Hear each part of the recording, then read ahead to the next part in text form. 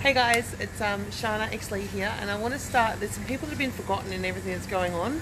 And I was just talking with this gorgeous girl here, and I want to start up a bit of an epidemic of my own.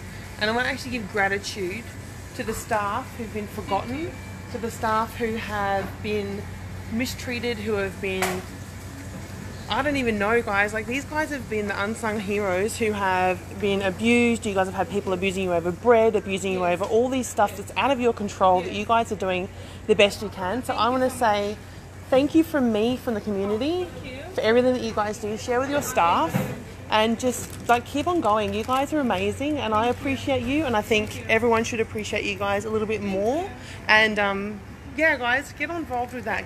Give our local shops, our local community, our local people a little bit more love, and um, yeah, let's let's make a difference. While everyone's freaking out, let's give some love and some gratitude. Thank you so much, guys.